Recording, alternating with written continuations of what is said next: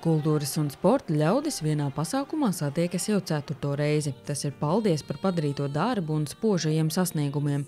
Un ik gadu šis pasākums ir vērienīgs. Nevelti pērnā gada ceremonija pati bija nominēta gada pasākumam. Domāju, ka tas ir arī tāds novērtējums tam, ko mēs darām kā nodaļa, bet patiesībā mūsu uzdevums jau ir tikai viens šajā pasākumā – radīt svētkus kultūras un sporta cilvēkiem, kas ikdienā dara šo darbu, kas priecē citus, kas priecē mūs tai skaitā Un mēs reiz gadā organizējam un uh, gatavojam svētkus tieši viņiem.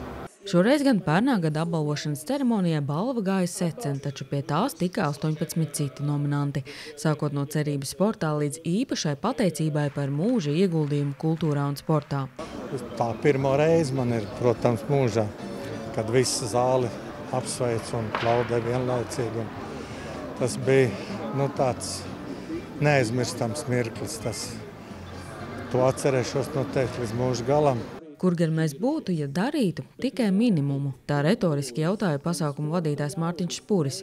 Nominanti, kuri piekdienas vakarā kāpa uz skatuves, noteikti dara vairāk nekā daudzi citi. Savās pateicības runās viņi norādīja, ka ar saviem panākumiem var būt kā piemērs, lai nenobīdos no lieliem sapņiem.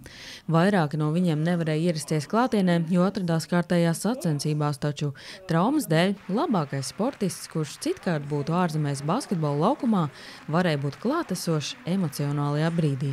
Tas noteikti ir īpaši vienmēr saņemt kādu balvu, un vēl īpašāk ir, ja tu saņem no savu pirmā trenera un, teiksim, mentora, kas tevi ir no puikas padarījis par vīrieti, un tas tiešām bija īpaši saņemt tieši balvu no Arkādija Bajāra. Tas bija tā Es nedomāju, ka es esmu tik emocionāls, bet tajā brīdī es biju emocionāls. Jaunā kultūra vieta Kurte vēl nav noslēgusi savu pirmo sezonu vecpilsētas sirdī, taču jau tikusi pie augsta novērtējuma. Talsinieka Armanda Svinstera un irānietes Jasmīnas Ovrangas lolojums atzīts par gada notikumu kultūrā. Tiešām laiks kaut kā ir pilnīgi deformējies un liekas, ka ir jau tik, ilgi, paga, tik ilgs laiks pagājis un pat te pašā laikā tik īsts laiks. Viss tas kaut kā aizgājis vienā mutulī, vienā lielā uzrāvienā. Wonderful! It's so sweet and it's uh, generous. I also really appreciate that people recognize Kurte and this gesture also gives us a lot of motivation to do more. Apbalvojumus saņēma arī gada kultūras lepnums, gada bibliotekārs un muzeja darbinieks, labākie sportisti, komanda, treneris, skolotājs un entuziasts sportā. Iespēja pieteikt apbalvojumiem nominācijās savus pretendentus bija ikvienam, un šogad bija nebijusi atsaucība.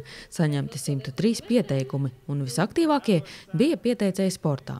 Bet laikotākie pasākumi pērn bijuši pilsētas svētki un Daņa Zāģera čempionāts spēka vīriem. Sanita Liepiņa, Terēza Matisoni, Girds Grenovits, TV9 pakalni.